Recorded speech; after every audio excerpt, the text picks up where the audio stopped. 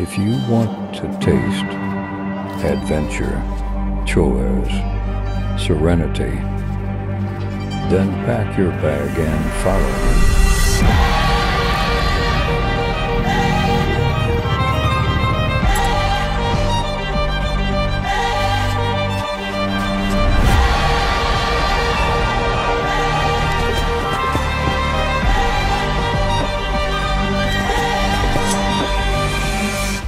The impulse we have of wanting to travel is one of the most beautiful symptoms of life because we don't always travel to change places.